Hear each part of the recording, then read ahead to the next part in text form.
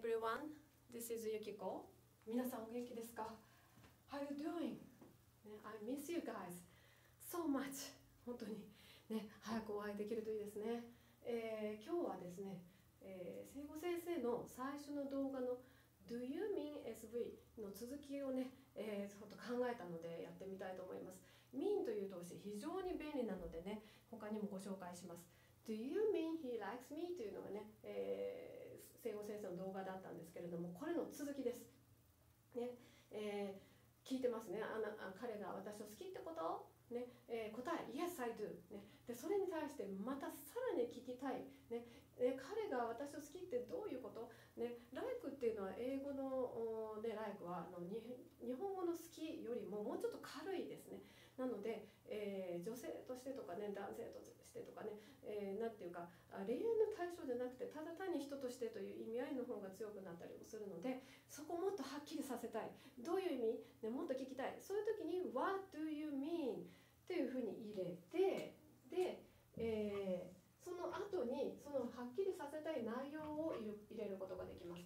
なので、えこの場合ですとあ彼が私を好きをここに入れたい、ね、What do you mean? その通り。ね。What do you mean he likes me? ね、え What do you mean he likes me? ね。えーどういうこと、ね、彼が好きって。私を好きって。どういうこと、ね。えーでこれに対する答え。I mean ですけれども I mean はね非常にまたこれも便利でつまりなんとかってことっていうね言い方なんですけれどもあの自分が前に言ったことを言い直したい時補足したい時そういう時にね、えー非常によく使われる文章です。でこっちね何々としてね、えー何々として好きなんだよっていうのを言いたい時ね as a friend ね友達として as a woman 女として、えー as a なんだろうちょっと考えてみてください。じゃあねこの A で言ってみましょう。私はつまり彼があなたを好き、えーね、友達としてっていうふうに言いたい、ねえーせーの。いいですね I mean he likes you as a friend. ね。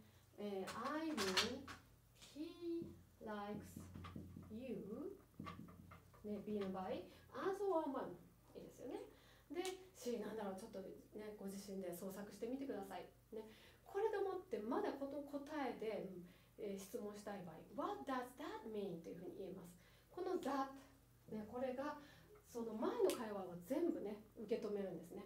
またさらにもっと詳しくね質問したい時にこのように What does that mean? ね。